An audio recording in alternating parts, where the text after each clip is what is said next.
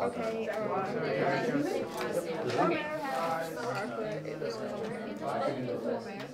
It's truly amazing to see how a classroom should function. Till break? Yeah, we'll go till break. Set timer for 15 minutes.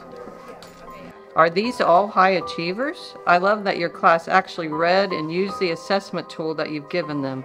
I also loved the collaboration. They had clear rules to follow and a timer to keep them on task.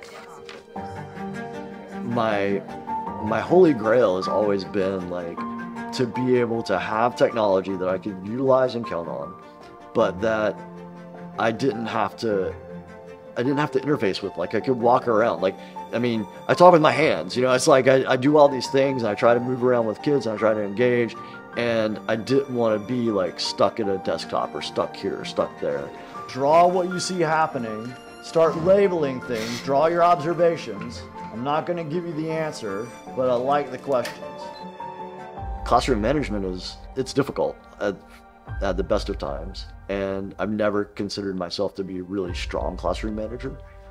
And so if you're starting to implement lots of collaborative work, your classroom management needs to be on point because you're asking the students to do a lot and it's very easy for them to get off task. What I want you to do is I want you to share with your partner at your table. So that management piece is sort of embedded in everything I do with Merlyn. So the, the timers, the progressing through slides, the switching from one HDMI input to another. Switch to tab one. Things that I would be running back to a computer to touch it for that I'm not having to do. In my classroom, I don't have Merlyn, and I do run back and forth to the computer. And during that time, you know, then they they've lost a little bit of their focus. So It's here to help us do this thing that we can do on our own, but we can now do it a lot more efficiently and we can do it in a more straightforward manner because we don't we can offload these tasks onto this piece of technology.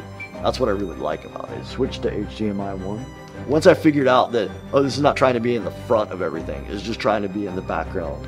That's when I realized like, oh, there's a lot to this.